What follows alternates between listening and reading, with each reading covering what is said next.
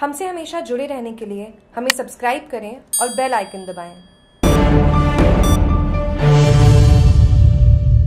जिला प्रमुख ने किया निरीक्षण नवनिर्माण टंकी का नागानी जिला प्रमुख अर्जुन राम पुरोहित ने ग्राम पंचायत सनपुर के अंतर्गत सियाकरा में जल जीवन मिशन योजना नवनिर्माण टंकी का निरीक्षण किया और टंकी का जायजा लिया और काम देखा और सही काम करने का निर्देश दिया और जो काम पूरा हुआ है उन पर टाइम पर पानी का लगातार छिटकार करे और कोई काम में लापरवाही नहीं बरते। इस मौके पर समाज सेवी कालाराम देवासी सनपुर प्रकाश पटेल कानाराम चौधरी आदि मौजूद थे।